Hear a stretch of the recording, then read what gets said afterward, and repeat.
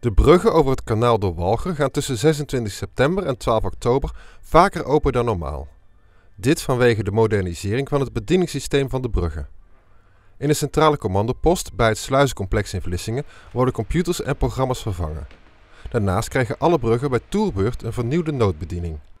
Deze moet ook weer getest worden en dit kan betekenen dat de brug s'avonds en s'nachts tot 15 keer langdurig open gaat. De provincie raadt mensen aan deze bruggen op die dagen te mijden en een alternatieve route te nemen.